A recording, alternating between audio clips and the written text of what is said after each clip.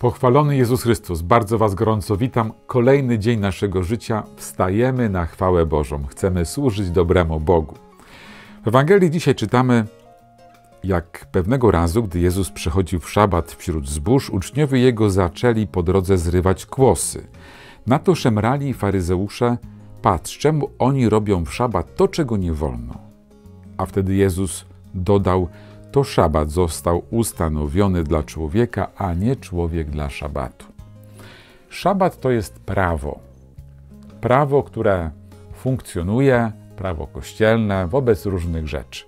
Prawo dobre, bo Pan Jezus nie krytykuje tego prawa, tylko pokazuje, że to prawo nie jest Bogiem. To prawo nie jest najważniejsze. Ważniejszy jest człowiek i miłość i czynienie dobra.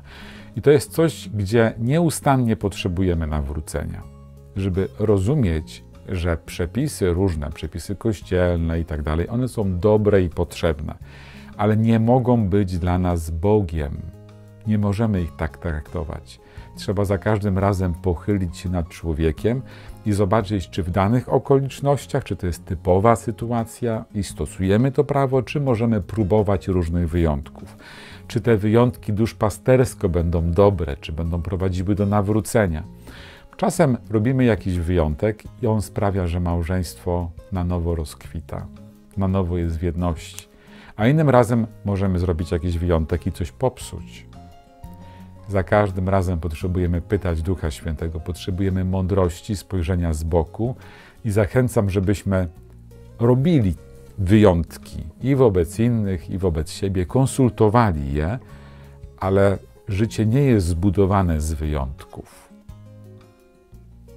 Jest normalna droga, ale otwartość na wyjątki. Tego Pan Jezus nieustannie uczy.